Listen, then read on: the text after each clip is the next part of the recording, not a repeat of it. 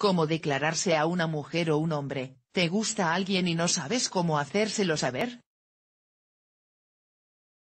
Te mostramos algunas ideas y recomendaciones de cómo declararse a una mujer o a un hombre. Declararse a alguien es algo que a muchas personas les puede llegar a costar bastante, sobre todo si son tímidas. Esta clase de personas también tendrán problemas a la hora de relacionarse, por ello te damos algunos trucos y tips para conocer gente nueva, y combatir la timidez. Una de las razones por las cuales las personas no se atreven a declararse es por el miedo al rechazo. Seguro que tú también habrás experimentado esa sensación y no es nada cómoda. Pero no hay que perder la esperanza, como se dice, en el momento menos esperado puede darse la sorpresa. Para conseguir declararse hay que tener determinación y saber encajar el no, algo que nos darán en más de una ocasión.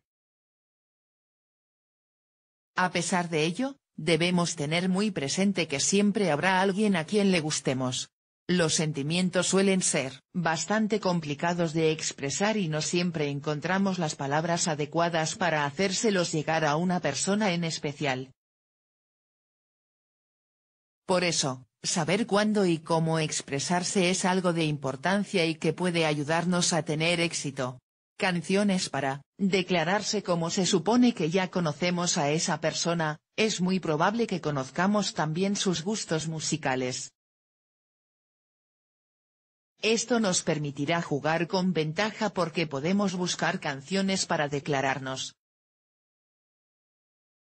Muchos artistas cuentan con canciones en las que se habla de lo difícil que es el amor, y decir las cosas a quien quieres. Siempre se puede buscar discografía de este estilo para poder decirle las cosas mediante una canción. Cartas de amor Las cartas de amor suelen funcionar muy bien, al disponer de más tiempo para escribirla, podemos buscar mejor las palabras adecuadas. Mucho mejor que si se tuviera que decir en persona. En este caso, cuando se escribe una carta, es importante tener en cuenta que los sentimientos deben ser verdaderos. Hay que escribir la carta con total sinceridad, y sin palabras demasiado rebuscadas u ornamentar mucho la misiva. Lo más aconsejable es ir directos, explicando cómo nos sentimos cuando estamos junto a ella o él. Una vez escrita la carta, llega el momento que menos nos gusta, esperar a que responda o diga algo. En este caso no podemos ser impacientes, hay que esperar a que la persona asimile lo que ha leído, se tome su tiempo o simplemente nos conteste con una respuesta.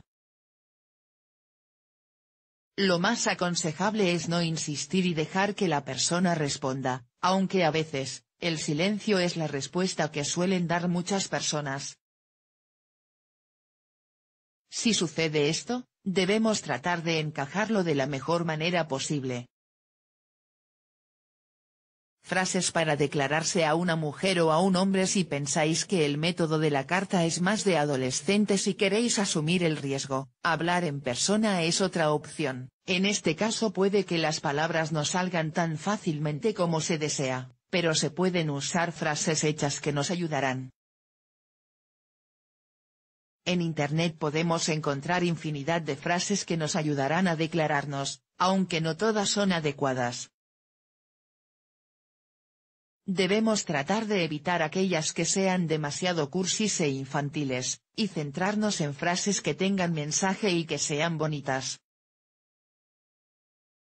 Podemos encontrarlas en alguna canción o en algún libro, por tanto, hay que buscar bien, porque siempre encontraremos una que se adapte a la situación en la que nos encontremos. Cuando tengamos las palabras oportunas, nos faltará lo más complicado, expresarlo frente a esa persona, para ello, te damos algunas herramientas para que practiques a hablar en público, y así perder el miedo a la hora de declararte frente a él barra ella. Otros aspectos que debemos tener en cuenta si nos vamos a declarar diciéndoselo de palabra, debemos buscar un lugar donde nos encontremos cómodos, y que nos guste a los dos o donde no haya demasiada gente. A muchas personas no les gustaría tener que declararse rodeados de personas que no conocen. En un lugar tranquilo, las palabras saldrán de una forma mucho más sencilla, y nos costará menos trabajo dar el paso. Para hacerlo todo más fácil, podemos intentar combinar lo que queremos decir con alguna historia personal, algo que nos haya pasado. Hacer que la otra persona se sienta identificada con lo que sentimos, puede ser un plus a tener en cuenta. Además de nuestras palabras, el aspecto visual es algo que debemos cuidar. Nunca tendremos una segunda oportunidad para hacer una primera declaración, por ello, no hay que olvidar ir bien vestidos, y demostrarle que nos preocupamos porque todo salga bien. Ir cómodos, con un buen outfit, con perfume, etc., puede darnos seguridad a la hora de hablar. Por esa razón, no debemos descuidar un aspecto tan sencillo como este, pero de tanta importancia.